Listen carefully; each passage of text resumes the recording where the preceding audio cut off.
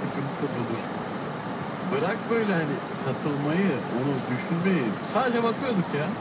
Hiç benim aklıma gelmedi. yani. Ha, katılmak tabii. Bir gün hani mektup Abi, yazayım, katılayım. e, hiçbirimiz zaten İstanbul'da büyümemiş Evet, çocuklar olarak aynen öyle, aynı aynı hissiyat. İstanbul, Gelmedi değil mi aklına hiç? Ben buraya gider miyim? İstanbul hep uzak.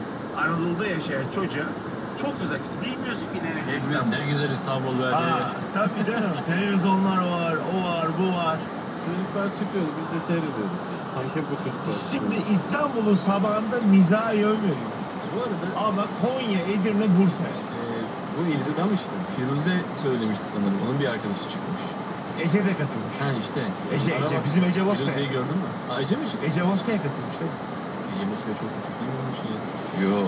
Ece Yalan mı Bozkaya 89'lu. Çok uzun süren Bir yaşında mı girmiş? Ee, Orada doğmuş biz. Elime doğdu. hoppa hoppa ay geldik. orada emziriyor, emziriyor. Ondan sonra Doğuyor.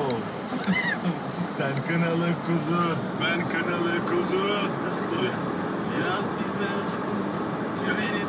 En başı, en başı. Kötü söylemişsin şimdi tanıdım. tamam. Kemal söyleyince tanıdım şarkıyı. Kınalı kuzu, biraz cilve